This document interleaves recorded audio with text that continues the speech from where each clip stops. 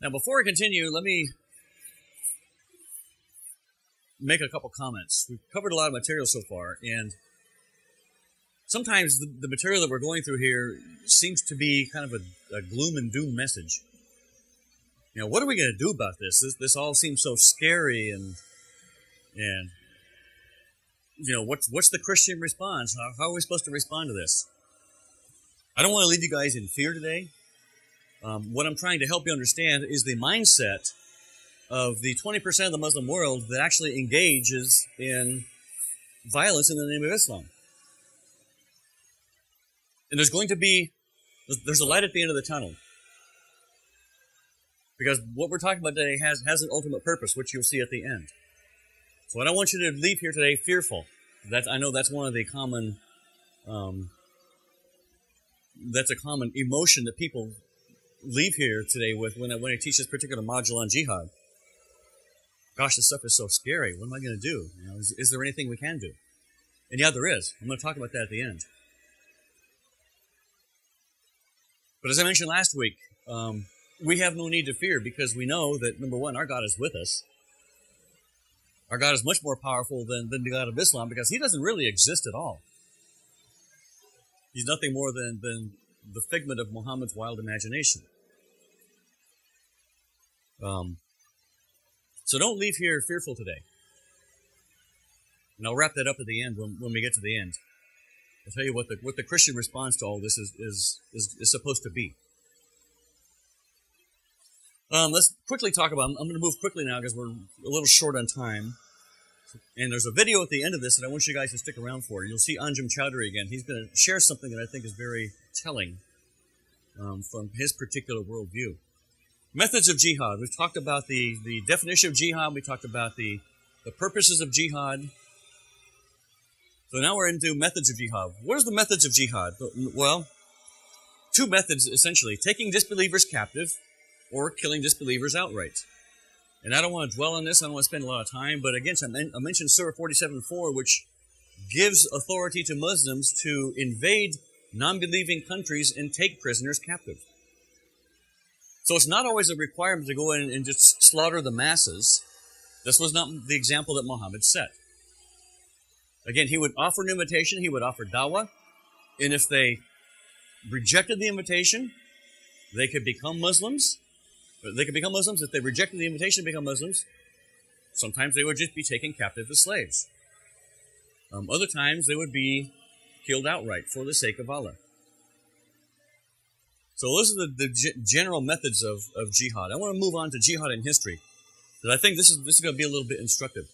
When you look at Muhammad's biography, you realize that Muhammad himself was a very, very much a, a warlord. Um, and that's not to be unexpected. Again, the 7th century Arabian uh, milieu, the 7th century Arabian context was very much a warfare society, as a, a tribal society. Tribes always went to war with one another. It was always about who had the most powerful tribe, who could con- conquer the most people. And so it was within this context that Muhammad was raised. It was in, within this context that Muhammad began preaching this new religion. So it stands to reason that Muhammad himself was a very much a warlord because that was the, the, the order of the day. That's just the way things were. But the difference between Muhammad and other warlords of his time is that Muhammad justified his actions with what he called divine authority. From the Quran, from revelation supposedly that the angel Gabriel gave him that were the words of Allah. That's what set him apart from other warlords of his time. He, he believes that he has divine sanction for doing what he's doing. And when we look at his biography, we discover that he himself, in the, the last 10 years after he migrated to Medina, from 622 to 632, some historians have, have classified the last 10 years of Muhammad's life as the, the years of what they call the years of Maghazi, Maghazi, the years of warfare, characterized Muhammad's final years of his lifetime. He personally participated in 29 active campaigns, oversaw 57 others, supervised 57 others, for a grand total of no fewer than, on average, nine violent campaigns of warfare of one type or another per year. This was his life. This is what characterized his lifetime. Two significant campaigns, or, or, or among others. But the two significant campaigns I want to point out for the purposes of class today are the first one, the Battle of Badr.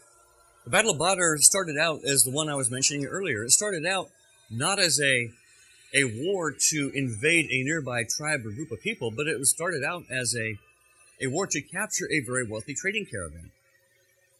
Now recall that when Muhammad was driven out of Mecca by the persecution he was facing as he preached this new religion, as he was driven out of Mecca, he left he and his followers left behind all their means of survival. They left behind their means of economic prosperity. They left behind their jobs. They left behind their trades. They left behind their family, their riches, their personal possessions. These were all in Mecca. And so they viewed Meccans as the, as the reason for their suffering the loss of their prosperity. Because the Meccans and, and the Meccan, um, the Meccan, um, I hate when my mind goes like that. The, the persecution that the Meccans were given to Muhammad and his followers, which caused them to flee Medina. They viewed the Meccans as the, the reason why they were suffering financially. And since these, these caravans were going back and forth from Mecca to uh, uh, Syria, they viewed those trading caravans of Meccan possessions as their own personal possessions as a means to recapture some of their economic vitality. And so Muhammad authorized the interception of these caravans in order to gain back some of the goods that they had to leave behind in Mecca when they fled to Medina. You see what's going on here? They were viewed as legitimate booty. They were viewed as legitimate possessions that Muhammad and his followers were allowed to capture for their own benefit, to restore their own economic vitality that they had to leave behind in Mecca when they were driven out. That's how the Battle of Badr started. It started as a raid on a very wealthy trading caravan. It was on its way from Mecca to Syria with all kinds of uh, gold and silver and spices and jewels and, and teas and so forth. Very um, costly items. And Muhammad learned of this particular trading caravan. They, he learned that it was on its way back from Syria to Mecca with all these goods. And he sent an army of 300 of his followers to intercept and capture this trading caravan. Now, the Meccan contingent caught word of it that Muhammad was planning this raid, so they sent a thousand people to guard the caravan against Muhammad's 300 warriors. And yet Muhammad's 300 warriors were able to overpower the 1,000 people from Mecca that were sent to protect the caravan. So because Muhammad was outnumbered three to one, and yet he was able to be victorious in this particular battle, the Muslims thought that that was a sign from Allah, that Allah was with them. And they actually believed that it wasn't the, the it wasn't Muhammad's warriors themselves who were able to capture the Meccans, even though they were outnumbered by three to one, but it was Allah who sent invisible angels to kill the Meccan contingent. So they viewed that as a, as a sign from Allah that Allah was on their side. Now, in reality, when you look at the historical background, the historical context behind this particular battle, it was right before this particular battle was launched that Muhammad said, anybody who dies as a martyr in an act of jihad is immediately ushered into heaven. So when they engaged in this particular battle, they engaged in it with a mindset that they have nothing to lose. They were fearless. They were, they were, they went at it with everything they had. Because again, if they, if they, if they won the battle, they would get rich. And if they lost the battle, they would be ushered into heaven. So it was a win-win situation. They were ruthless. They were fearless. And because of that, they were able to overpower their enemy, even though they were outnumbered by three to one. The Battle of the Trench is another particular um, battle that Muhammad himself participated in. And this happened five years after the Hijrah, so this was around 627 AD. Muhammad is in Medina. And as the story goes, the people in Mecca are looking for a way to get rid of this, this nemesis, this problem, because Muhammad was capturing all their trading caravans uh, going between Mecca and Syria. And he was beginning to interfere with the economic vitality of Mecca itself.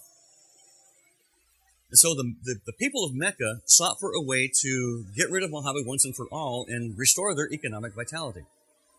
So they, they devised this, this grand scheme, this grand plan where a, a contingent of warriors from Mecca um, made a pact with other surrounding tribes to join the Meccans in kind of a two-pronged attach, uh, attack on Muhammad in Medina. One contingent was going to come up from the south, from Mecca, and attack Muhammad from the south flank. Another contingent was going to go around and attack Muhammad from his north flank.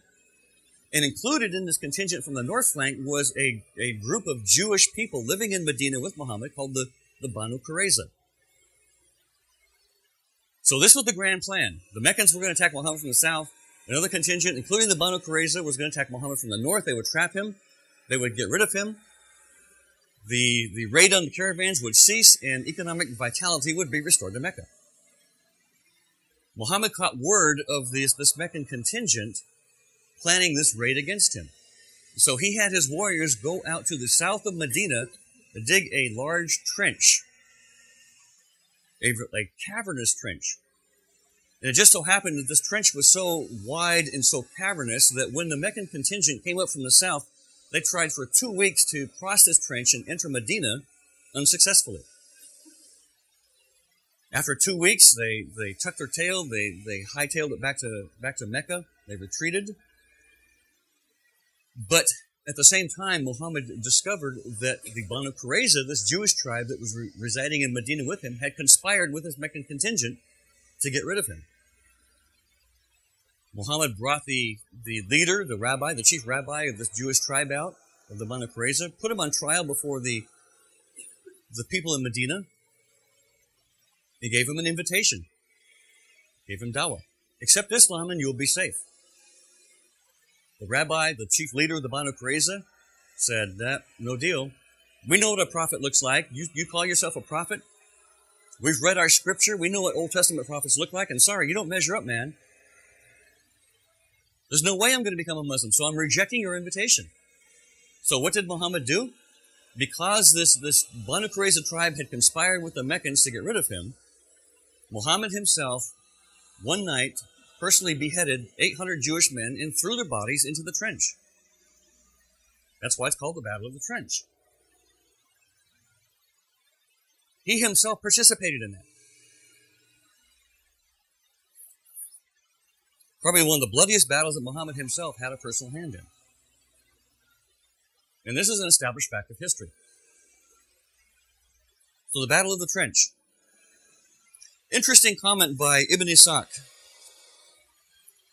uh, Muhammad's earliest biographer that I have my, uh, I showed you the copy of the book up here. Ibn Ishaq made this comment about Muhammad's life. He actually summarized Muhammad's entire 10 year history of his time in Medina with one sentence. And the sentence is this He said, God sent Muhammad with this religion, and he strove for it until men accepted it voluntarily or by force. God sent Muhammad with this religion, and he strove for it until men accepted it voluntarily or by force.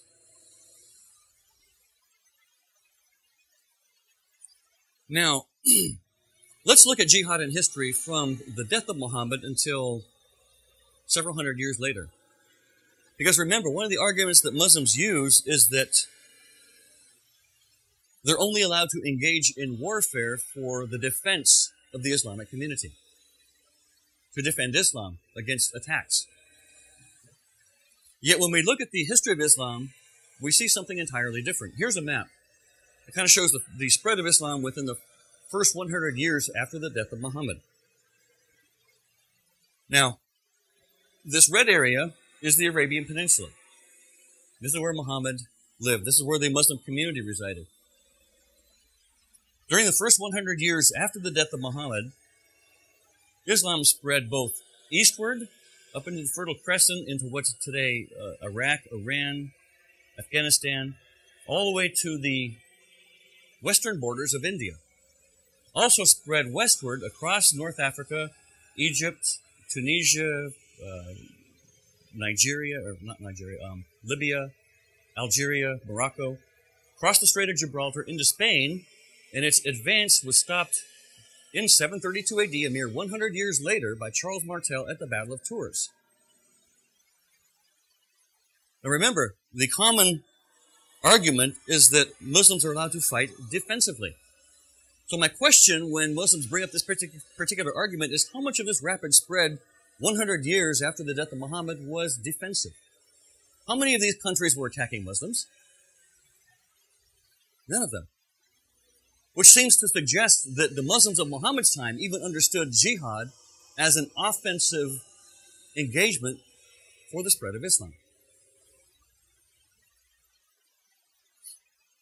Let's look at another series of maps. The shaded, the orange shaded areas is the representative, essentially, of, of what we saw on this previous map.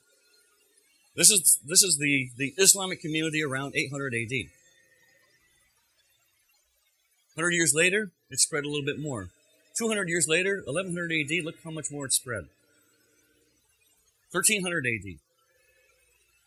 And finally, 1500 AD. Again, how much of that was defensive? None of it.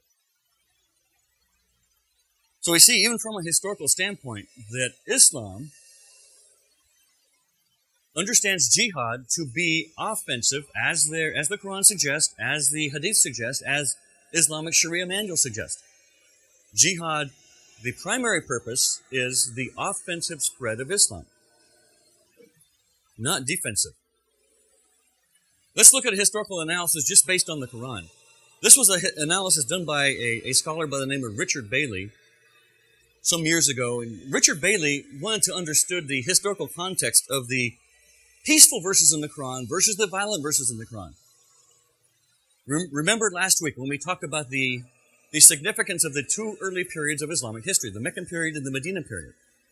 Mecca period from 610 to 622, and the Medina period from 622 to 632. And I mentioned one of the primary reasons we need to make that distinction is to understand the significance of when particular verses of the Quran were given to Muhammad, because they were given to Muhammad over a 23 year period 13 years in, in Mecca, 10 years in Medina. And you have to understand when verses were given to Muhammad, how they relate to the context and how they relate to the, the, the earlier verses versus the latter verses when there is a conflicting verse in the Quran. Because Muhammad preached peace. He also preached violence. How do the peaceful violence, peaceful verses of the Quran and the violent verses of the Quran, how do you reconcile those with, with each other? This was the goal of, of Richard Bailey's analysis. He says, we need to put these, these verses in context and see what Muhammad's lifestyle was like. What, what context did he find himself in when these peaceful verses of the Quran came to him versus what was the context when the violent verses of the Quran came to him? And he broke down the, the context of the Quran into four historical periods. And he calls stage one is early in Mecca. Muhammad's preaching this new religion, that there's one God worthy of worship, and his name is Allah, to a very polytheistic society who doesn't want to accept this notion. They have 360 gods that they worship.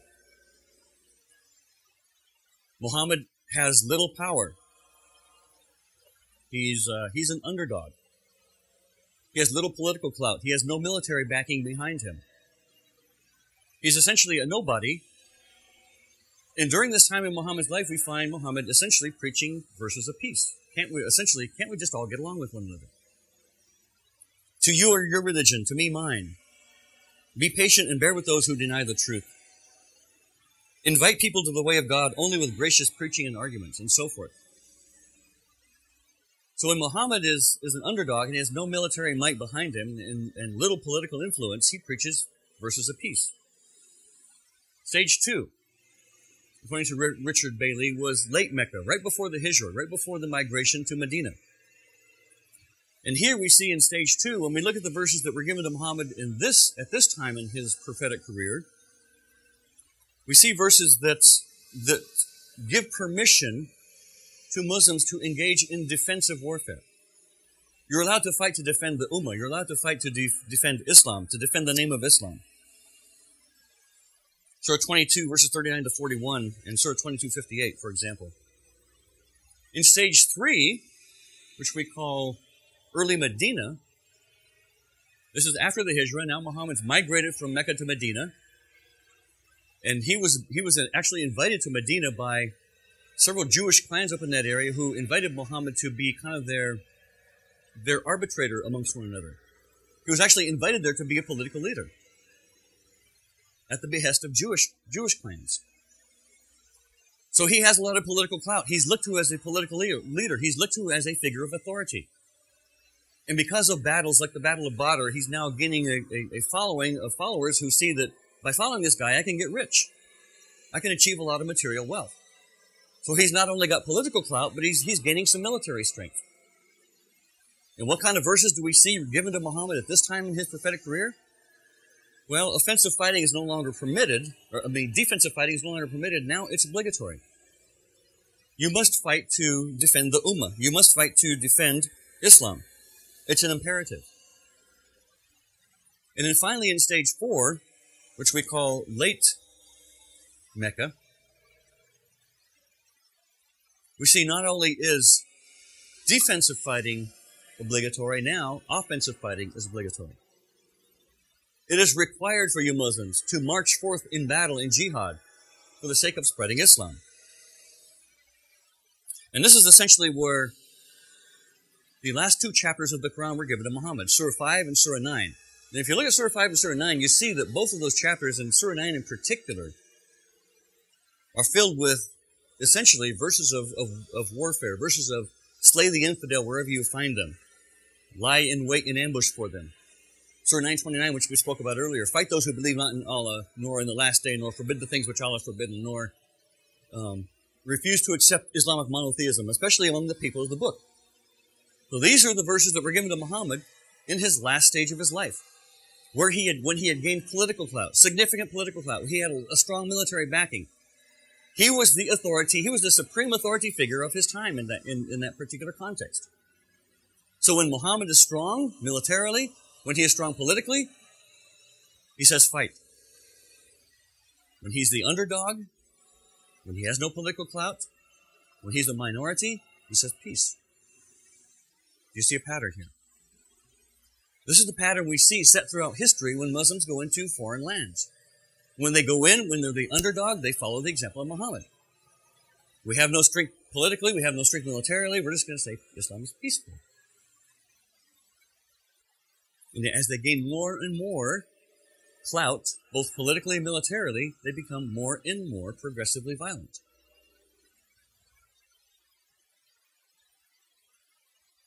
This is the pattern that Muhammad set.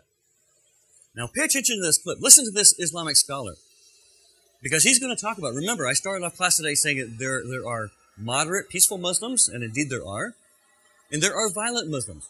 And the question we need to ask is, are the violent Muslims really hijacking Islam, or are they do they actually find support for what they do in their scripture, in, in the example of Muhammad? Listen to what this Islamic scholar said. The Quran is like a big store, like a big supermarket. In this book, you are able to pick different answers. You are able to make peace according to the Quran. You are able to declare war according to the Quran. So many different voices come out of the Quran. Moderate people have their support in the uh, verses of the Quran. Radical people have the same thing with different verses in the Quran. Did you hear that? There's so many voices in the Quran. Moderate people, if they want to justify themselves, they can they can justify their moderate position based on verses in the Quran. But radical people, they can find the same support in different verses of the Quran. So are they really hijacking the teachings of Islam? Not according to even this scholar. Quickly, let's talk about some criticisms leveled against particularly Christians when we, when we start talking about Islamic jihad and the spread of Islam around the world at the point of the sword. One of the common criticisms that Muslims always like to bring up is, well, you Christians have no right to talk about the violent spread of Islam. Christianity is filled with its own forms of violence, particularly the Crusades. So you guys had the same problem in your history as we do. How dare you criticize us for Islamic Jihad? Right? Well, that, that, on the face of it, that may seem to be a legitimate criticism. Because there are Christians who have engaged in violent things in, in the name of Christianity, and, and the Crusades was one of those. Black marks, black stains on Christian history. That's undeniable. We can't deny that. But let's let's do a, an honest comparison between Islamic Jihad and the Crusades, and see if they they actually are comparable. When you look at the the history of Islamic Jihad and you compare it against the Crusades, you find some. You, we can make some interesting observations. For example, with the idea of imperialism. Just comparing Islamic Jihad and the Crusaders of the 11th century. Who were the first imperialists? Christians or Muslims?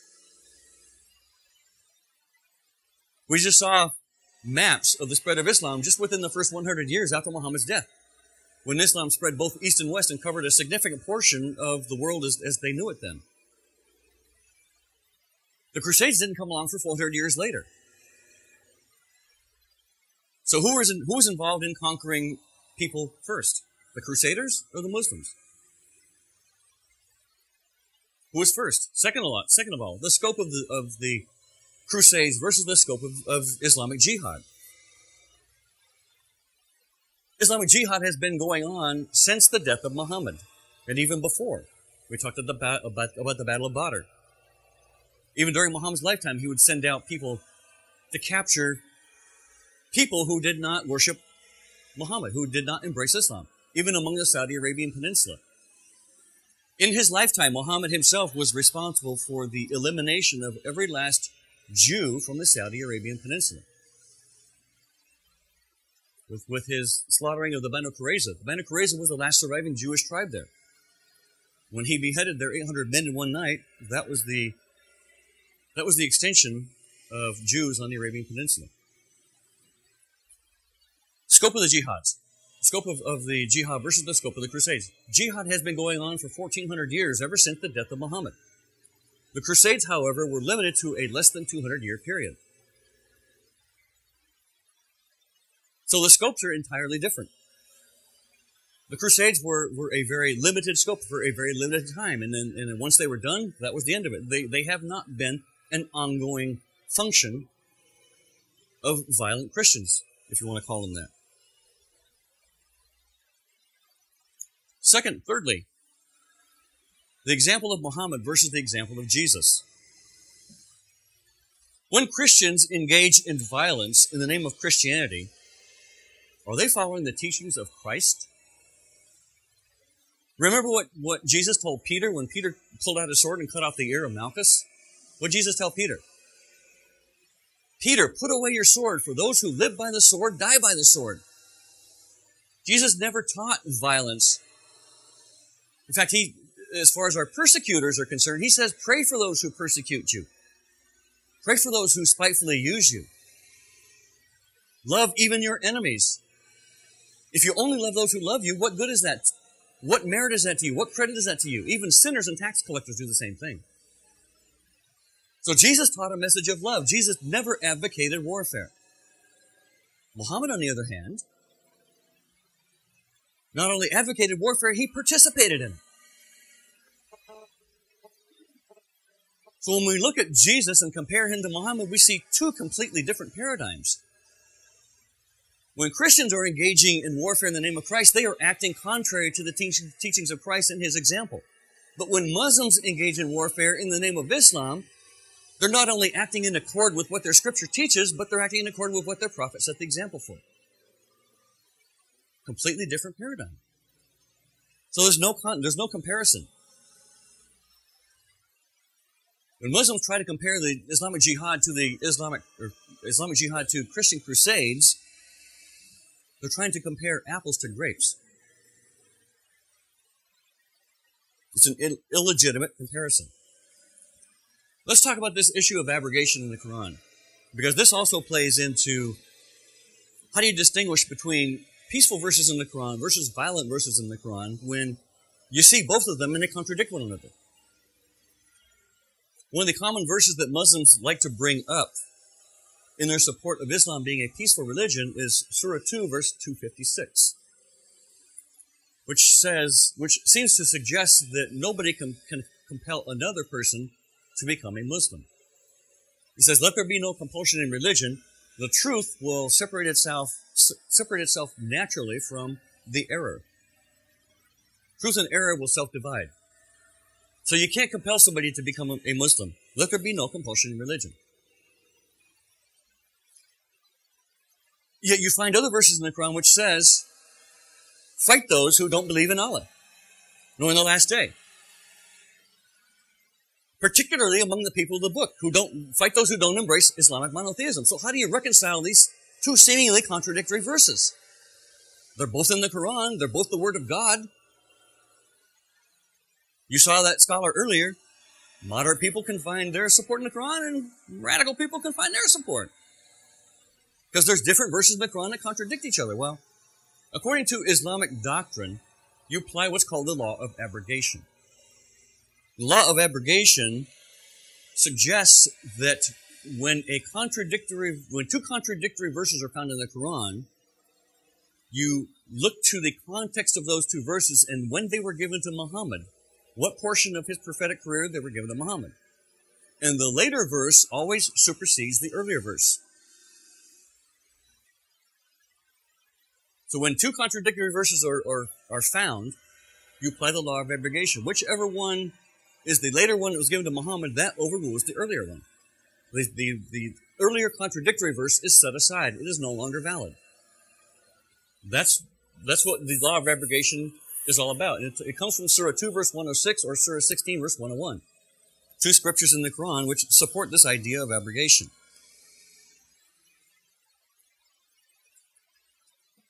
So when you take these two verses as an example, Surah 2 verse 256 and Surah 929, they seem to contradict one another. Let there be no compulsion in religion, but slay those who don't believe in Allah.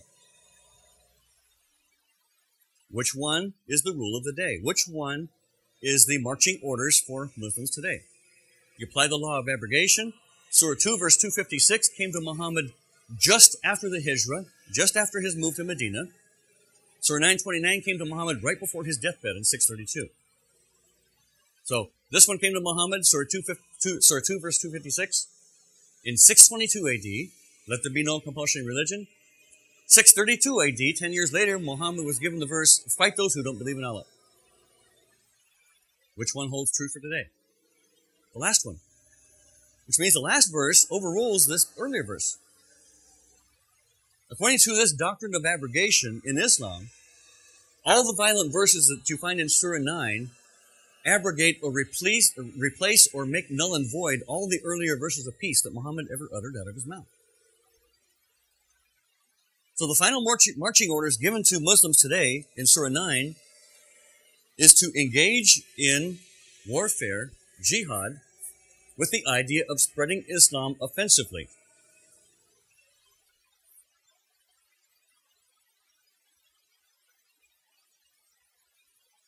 It is said that Surah 9, verse 5 alone, and Surah 929, abrogate about 200 earlier peaceful verses that had been given to Muhammad during his time in Mecca.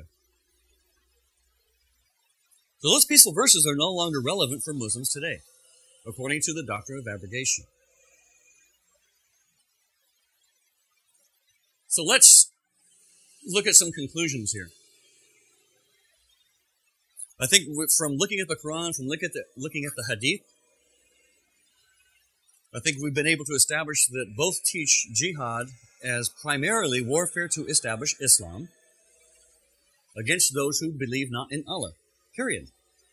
This whole idea of jihad as an internal spiritual struggle has little, if no, support in Islamic scripture, either in the Quran or in the Hadith. It's supported only by one weak Hadith, which I mentioned at the beginning of class, that no Muslim today deems to be reliable or authoritative. So jihad is not a spiritual struggle to be a better person. Jihad, by definition, from Islam's own sources, is armed conflict with the idea of the expansion of Islam. Muhammad set the example that Muslims follow today. Peace verses have been abrogated by later verses which seem to contradict them. And so let's get back to our challenge question that I gave you guys at the beginning of the session today. Is there such a thing as a Muslim extremist?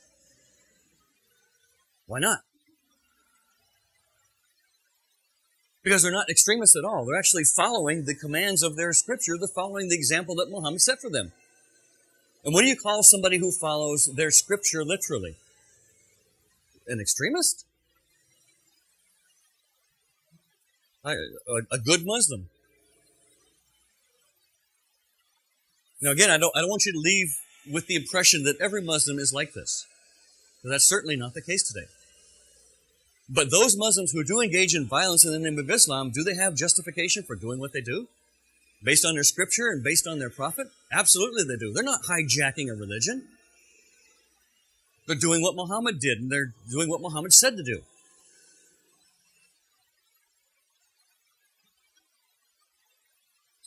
I think Jesus prophetically spoke of the days that we're living in today. Interestingly enough, in John chapter 16, verses 1 to 3. Look at these verses and see how they apply to today. It says, These things I have spoken to you, that you should not be made to stumble. They'll put you out of the synagogues. Yes, the time is coming that whoever kills you will think that he offers God service. And these things they will do to you because they have not known the Father nor me. Why are Muslims doing these things today? Because they don't know the Father. They don't know Jesus, the Prince of Peace. They've got the wrong worldview. They've got the wrong mindset. They've been told a lie. They're deceived. When I quit my job five years ago at Southern California Edison, I told my coworkers what I was going to be doing, and they, they called me nuts. Why do you want to talk to those people? They're going to cut your head off. And I said, primarily because of this. Because the, the conflict that we see going on around the world today, even though it has physical ramifications in physical armed conflict, it is not primarily a physical battle. It's a spiritual battle. It's a spiritual battle between the forces of darkness and the forces of light. And the only way that we're ever going to achieve world peace is for Muslims to meet the Prince of Peace. Amen? This is the light at the end of the tunnel. As I, mentioned, I mentioned, I think last week, what I call the Saul to Paul paradigm.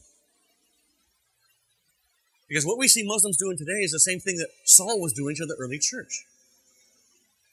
He was going around killing them. He was going around persecuting them because he believed they worshiped the wrong God. He was going around killing them in the service of the God as he thought him to be.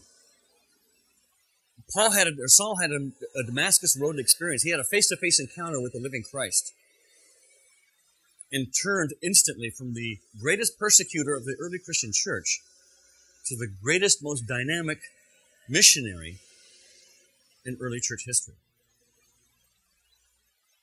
And I think today, if we can do the same thing, if we can share Jesus with these radical Muslims, as they're called, and they can become just as radical for Jesus as they are for the cause of Islam as they perceive it to be, then this world will be a better place.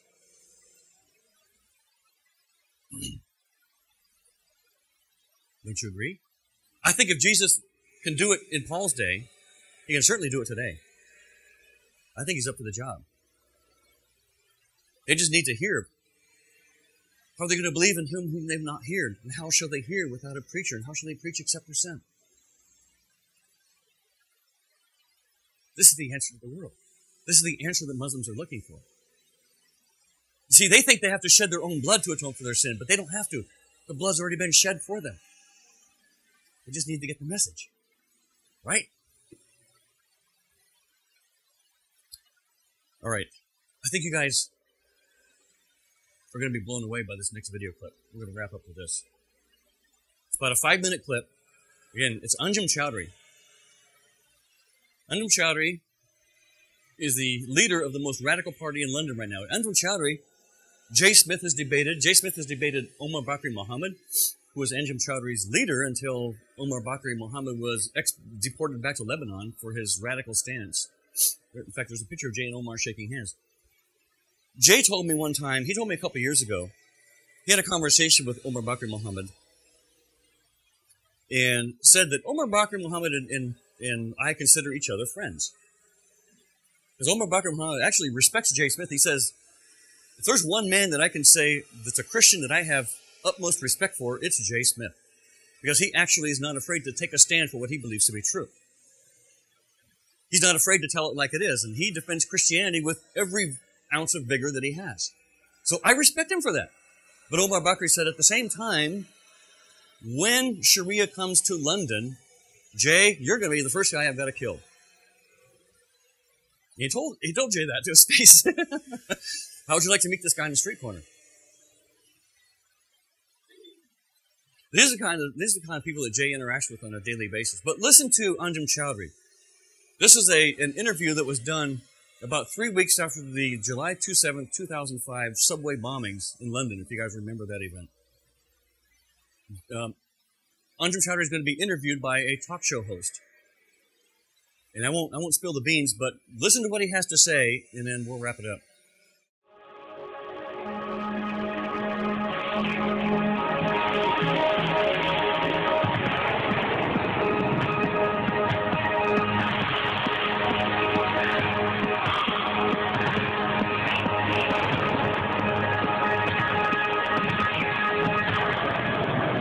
Four young Muslim men believed to have conducted the suicide bomb attacks in London on July the 7th were British, a homegrown cell. Who recruited them? Who convinced them of the righteousness of murdering innocent civilians? The British government is planning new measures against what they call preachers of hate. But defining the boundaries between free speech and incitement poses a massive challenge for the police and for Muslim communities. Hard Talk has interviewed a number of Muslim figures. My guest today was, till last year, the leader of the radical Islamist group Al Muhajirun in the UK. Anjem Choudary, welcome to Hard Talk. You're welcome. Let's go back to July the 7th. What was your first reaction when you heard of the bomb attacks in London? Our first reaction as Muslims was, why did this take place in London? And uh, what have we done to make ourselves in a position where people are wanting to throw bombs or to detonate bombs in the heart of the city of Great Britain? Did you, did you assume from the beginning it had been done by Muslims? Well, we can't make assumptions of uh, who carried out uh, uh, bombings in London. Obviously, the IRA were active until very recently. There are other people who have uh, uh, uh, grudges, who have access to grind, I'm sure, against the British government. But at the end of the day, there was every likelihood that Muslims would retaliate against the atrocities that the British government was committing in Iraq, in, in, in Afghanistan, and the support of the State of Israel was always going to have some kind of repercussion. Far from being surprised, you expected it. Well, we expected, we, we said that there was always a possibility of there being a retaliation from Muslims against Britain if Britain did not withdraw their forces from Iraq and if they did not stop, uh, stop meddling, if they did not uh, stop meddling in the affairs of See, when, when you look at what was said by, for example, Sheikh Omar Bakri, the leader of Muhajirun, he said, going back to 2004, in a Portuguese magazine, and I quote, there are freelancers ready to launch al-Qaeda-style attacks. I know they are on the verge of launching a big operation in London.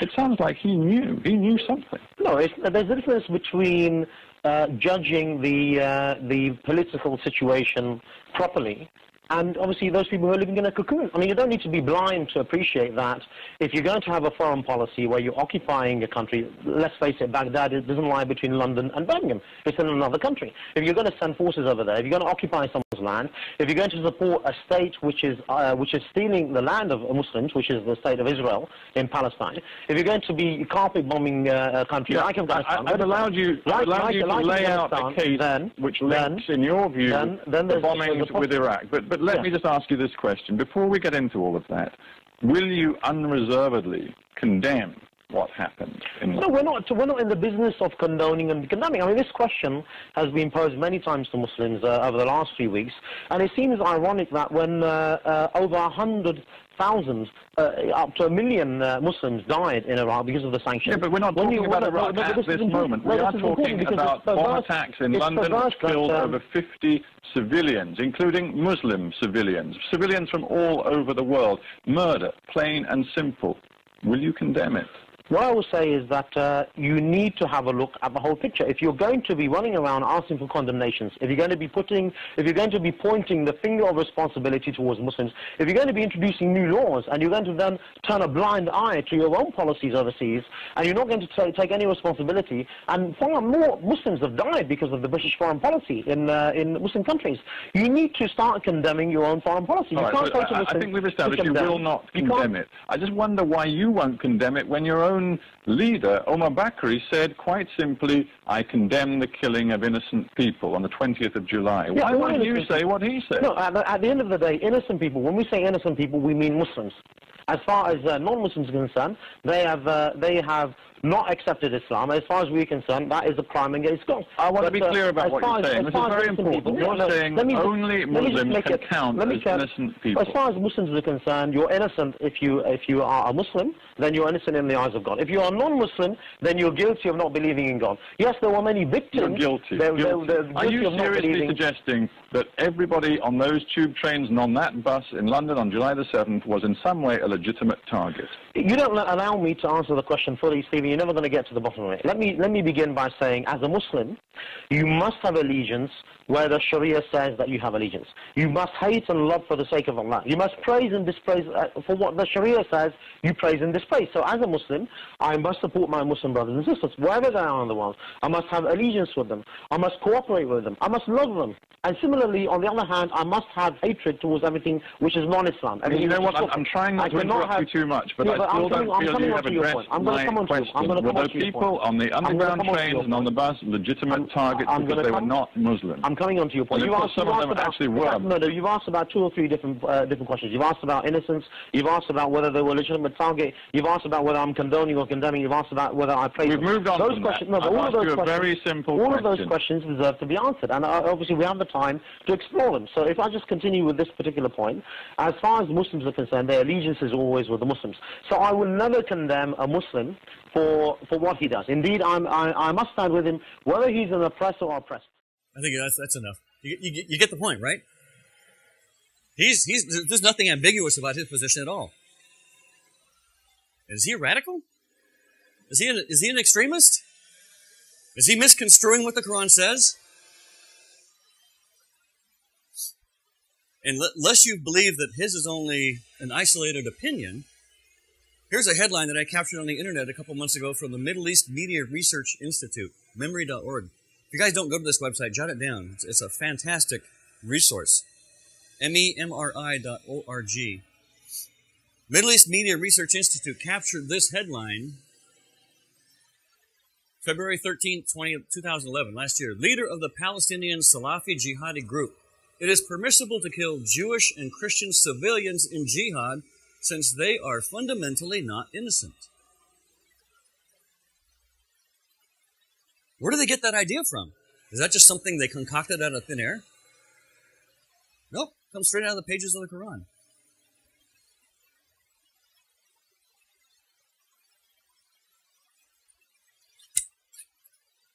All right, let's wrap it up. What's our obligation? How are Muslims going to come to know true peace? Only when they meet the Prince of Peace. What's our obligation? To bring them the message. What did Jesus say about fear? Because as I mentioned at the beginning, this, this subject leaves a lot of people fearful. Jay Smith himself has gone head, head to head with a guy who says, when Sharia law comes to London, I got to cut your head off, man. Jay Smith has no fear. I have no fear. Neither should you. I've got a target on my head from Al Shabaab right now, the Al Qaeda arm in, Som- in Somalia, for some work that I did in Kenya last year, discipling a new convert out of Islam. Do I fear? Do I care? Nope. Why? Because I know that when my God tells me He will never leave me or forsake me, He will never leave me or forsake me. When Jesus said, I am with you always, that means I am with you always. Not until you come head to head with a guy who wants to cut your neck off. Always is always. I know that, that my mission on earth has been preordained by God. He has placed me on earth to do a mission. He called me into this ministry five years ago unambiguously. There was nothing ambiguous about it. The calling was clear. And since the calling was clear, I know that He's not going to allow any harm to come to me that I can't handle until my mission on earth for Him is done. So why should I fear? And when that day comes, there's time for me to leave the earth. Why should I want to stick around here any longer anyway? I've got no reason to fear, neither should you. When you go to witness to a Muslim, you have the power of the Holy Spirit behind you. And there's no harm that can come to you unless God ordains it. We have no fear. We have no need to fear. Muslims need to hear the gospel. They need to meet the Prince of Peace. And the only way they're going to do it is through us.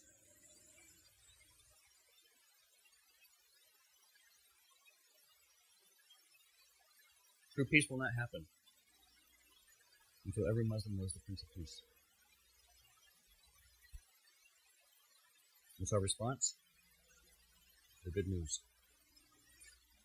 Now, as we wrap it up, I was introduced during the break to a, a lady, I'm going to put her on the spot for a minute, who's a former Muslim from Malaysia. And has, has everything I've been talking about today true to Islam? Yes. This is what they're taught in the Muslim world. You don't hear a lot of this stuff today in the West because they try to cover it up. They try to sugarcoat it. But this is true Islam. Because they've been deceived. They've got the lie. They need the truth. Let's pray. Father, we thank you for this time. Lord, our hearts go out. We, we ache. We mourn for those who've been captivated by the lie of Satan, who've been deceived into believing that they must shed their own blood to atone for their sins when you've already done the work for us. Father, the lie, the lie that they're believing in, that they're shedding their blood for, is taking them straight on a path to hell. Lord, how will they know about you unless we bring the message to them? How are they going to know in whom they've not heard and how they hear unless there's a preacher? And how shall they preach unless they're sent? Father, I pray that you would stir in each of us, Lord, a compassion, a love, a conviction of the need to share the good news with Muslims, to introduce them to the Prince of Peace so they can know what true peace is all about. Father, equip us and give us the opportunity to do just that. Mobilize us. Remove the fear. Let us rely on you and trust in you as we bring the good news of Jesus Christ to a lost and dying world. In Jesus' name, amen. All right. God bless you guys. We'll see you next week.